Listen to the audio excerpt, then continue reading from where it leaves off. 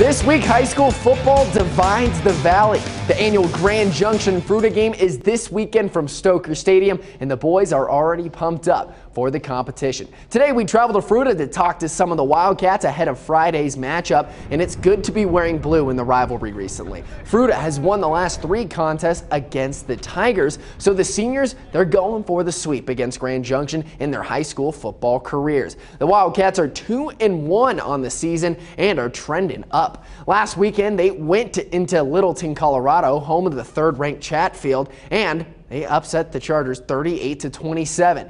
Now the guys are ready for the biggest rivalry of the season, a game they circle on the calendar every single year.